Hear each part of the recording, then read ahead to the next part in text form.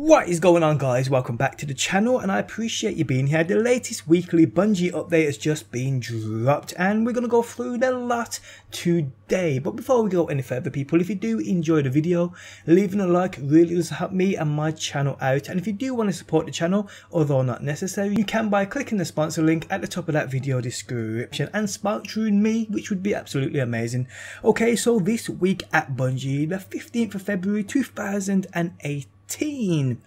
This week at Bungie, we invited you to celebrate Crimson Days with us. The decorations are up, the rewards are flowing, and teams of two are waging battle in the Crucible. You can get the full details on the event here. The celebration continues until the weekly reset at 9am PST on February 20th, which is next Tuesday.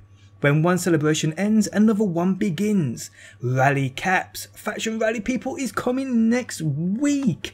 Uh, the event kicks off at 9am PST on February 20th. This time you can knock out lost sectors as fast as you can kill the bosses with no timers to hold you back. Start thinking about which faction deserves your loyalty. New Monarchy has won the last two rallies. Can they three-peat? If this is your first faction rallies, here is what you need to know. First, visit the tower and pledge your loyalty to one of the factions. Then it's time to set up into the world to complete various activities. Once you've earned enough tokens to qualify for a reward, exchange them for packages full of loot. There will be some new weapons added to the packages for this event. Here is what we're adding to the reward pool. And we can see the weapons on screen now. That looks like a dead orbit, linear fusion and an auto rifle. It looks like a Future War Cult hand cannon and auto rifle, which the auto rifle I actually can't wait to get my hands on. And it looks like a new monarchy auto rifle and scout rifle. That's not all is at stake. At the end of the event, the faction with the most packages redeemed will offer their prized weapon as a reward. Those who were loyal to the winner get a big discount and can pick it up for 1000 glimmer Everyone else can still get it at 50,000 Glimmer. Here is what the factions have to offer in the event they are victorious.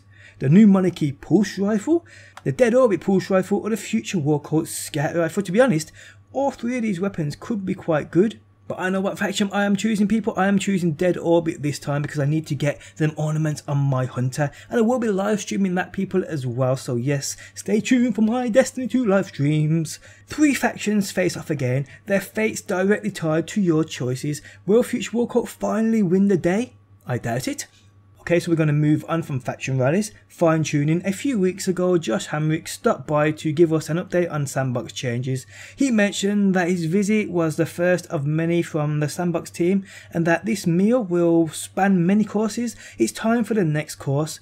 Senior designer John is visiting us from the kitchen with an update on the exotic tuning pass our team is working on diligently to make exotics more exotic-er.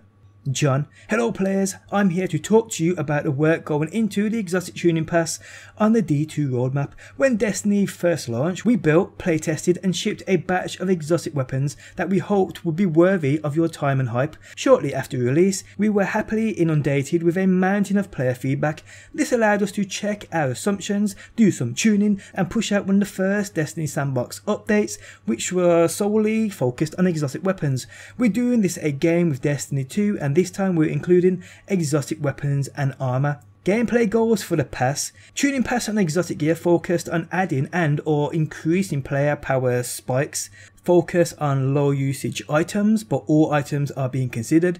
Lean into an item's established gameplay and push it harder. Avoid catch-all improvements that dilute item identity. So how does this play out? We can look at Graviton Lance as an example. The functional concept is a weapon that fires two Cosmic Void rounds that create a zero air resistance tunnel for a high caliber precision shot to fire through. The first two rounds have almost no recoil and prime the air, and the third round does high damage with no fall off.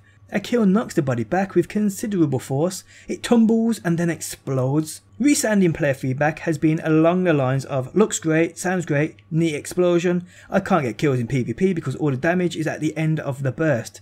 Kicks too hard for the follow up, and I can't reliably damage targets with the death explosion in any activity because the body goes flying far too backwards. All spectacle, not enough utility. To target the first pain point we reduced the recoil of the burst, added some aim assist and changed it from 3 rounds to 2. This still plays into the fantasy of a low damage graviton neutralizing round forming a projectile tunnel for the last bullet, it also allows us to ensure the damage per burst is at a competitive level for PvP engagements. In fact, it gives Graviton a slight mathematical edge against other pulse rifles. On the second feedback item, we did some tuning to the ragdoll body. We made it so rather than violently flying backwards and lightly out of range of a potential splash damage opportunity, the defeated opponent floats back and up. We then made the explosion bigger increased the damage and added some void fueled projectiles that seek out any remaining targets. that sounds beastly.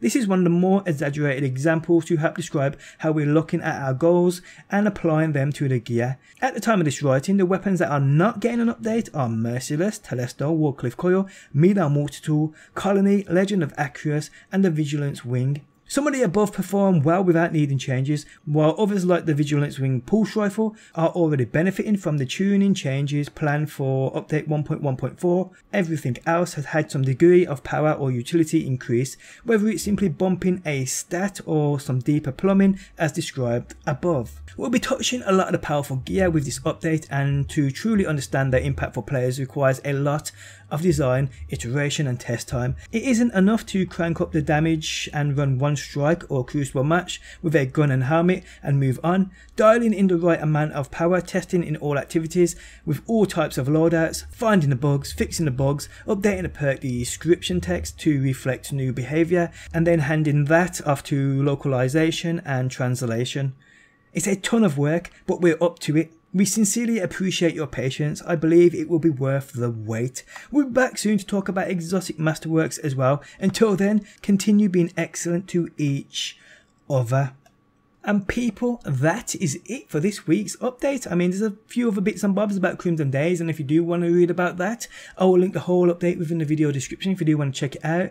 The main point for me here, though, is next week we get faction rallies. Finally gives me the chance to get my full faction ornaments, uh, obviously on my hunter. I've done Future War Cult, I've done New Monarchy. All I gotta do now is Dead Orbit. And some of the weapons do look great too, so I can't wait to get my hands on a couple of them. But me, I'm definitely going to be picking Dead Orb this time around. Who are you going to be picking? Let me know down below. The changes on the exotic seem interesting, but until we know more and what other changes are being brought to other exotic weapons and armors, which in my opinion absolutely suck balls. I mean, I'm optimistic, but I ain't going to get hyped until I know what they're doing. But yes guys, not a massive weekly update this week. But hey, it is what it is. Guys, if you enjoyed the video, leaving a like really does help me out. Thanks as always for stopping by. And hopefully people, I will see you on my next video or next stream. Always in the wrong.